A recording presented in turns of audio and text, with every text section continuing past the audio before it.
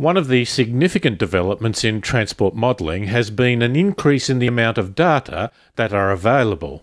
But are the data helping us to gain the understanding we need to model what might happen in the short and long term? Luis Pilo Willumsen is an international expert in modelling who has worked on projects all over the world. He is one of the keynote speakers at the upcoming AITPM National Conference we have a lot of data coming from other sources, but it's a very non-intelligent type of data. It's all the data we generate with the, the electronics we use every day. Uh, we use smart cards to pay for public transport, and the public transport operator gathers a lot of data of where validations have taken place, at what time, in what direction, and so on. And that's a very rich data set. But it doesn't tell us anything about what is behind those choices.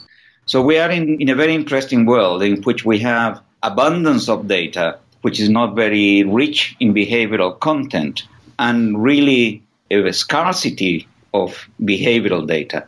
But in particular, we understand very little about how this behavioral that we observe today in 2017 is going to change, for example, when autonomous vehicles come along or when we have Amazon delivering things by drone two hours mm. after we order them. And these are going to be things that are going to change our behavior. They're going to change our, the things we want to do. And that is something that is very difficult to model.